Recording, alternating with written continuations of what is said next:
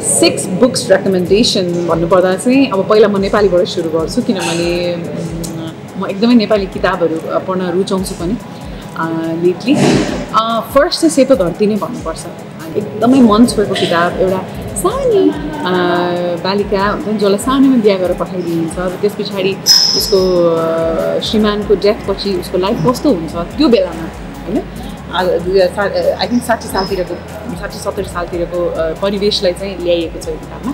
So एकदमै heart felt heart touching किताब लाग्यो मलाई। मलाई चाहिँ सिनेमा कुनै मैले कुनै सिनेमा जिन्दगीमा बनाएँ भने सेतो धरती जस्तो सिनेमा बनाउँछु भन्ने मलाई सोच आएको किताब हो दोस्रो नेपाली किताब नै रेकमेन्ड गर्न चाहन्छु which is Karnali blues of course यो चाहिँ मैले सबै बिगिनर्स फ्रेन्डली किताबहरू भनेर चाहिँ बिकज बुद्धिसागर हामीहरू one of my favourite writer हुनुहुन्छ बुद्धि दाईले जहिले पनि कथा लेख्नुहुन्छ त्यो इमोसन्सलाई रिलेसनसिपलाई यस्तो मजाले उहाँले एक्सप्लोर गर्नुहुन्छ होइन सो कर्णाली ब्रिज पनि एउटा बुवा र एउटा छोराको रिलेसनसिपलाई मजाले उजागर गरेर देखाएको छ। कस्तो चित्त दुख्छ। हुन्छ नि?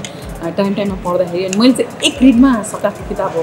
कसैसँग बोल्दै नबोली केही नगरिकन सात घन्टामा सकाएको हो होइन? पानी पनि नआइ पढेको किताब हो कर्णाली ब्रिज चाहिँ किनभने एउटा हाइटमा पनि थियो के रहेछ त भनेर।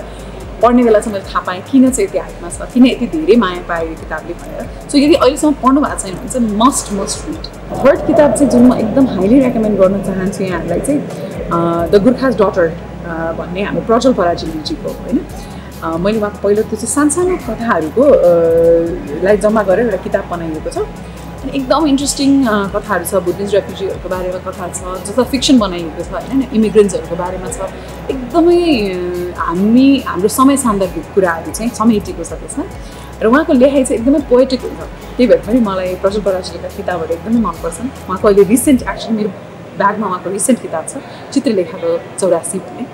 त्यो अहिले थिङ्क सबैतिर अभाइलेबल छ पढ्नु होला अति मसालेदार एकदमै फिल्मी छ त्यो किताब चाहिँ। मैले दुइटा गरिदिएँ। है अर्को किताब जुन म तपाईँहरूलाई यदि बिगिनर हुनुहुन्छ भने खालिद हुसेनीको राइट रनर चाहिँ आई थिङ्क तपाईँ किताब पढ्नुहुन्न भने पनि एकचोटि समातेर हेर्नुहोस् तपाईँ छोड्न सक्नुहुन्न। त्यस्तो मजाको किताब छ होइन दुईजना बच्चाहरू अफगानिस्तानमा बेस यो बुक हो।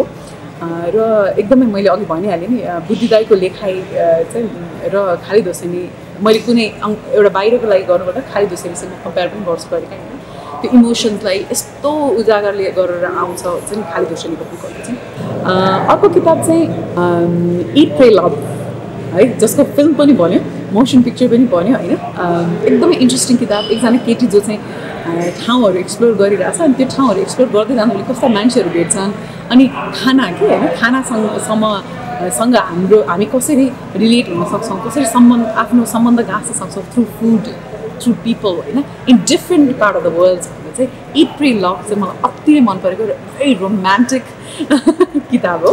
यदि तपाईँ एक्टर हुनुहुन्छ भने होइन म एक्टिङ गर्छु सो तपाईँ एक्टर हुनुहुन्छ भने चाहिँ तपाईँले एकदमै छुटाउन नहुने चाहिँ नो एक्टिङ प्लिज भन्ने एउटा किताब छ। सबैभन्दा simpler way of acting is to forget the outer world and to be in it के होइन?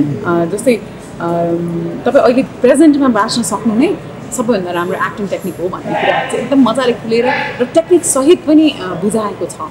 नो एक्टिङ प्लिज सो यो चाहिँ सबै जसमा अहिले त टिकटकमा कति धेरै कलाकारहरू हुनुहुन्छ टिकटकले जन्माइरहेको छ होइन? उहाँहरूको लागि पनि एकदम ह्यान्ड्स अन बुक हुनसक्छ नो एक्टिङ प्लिज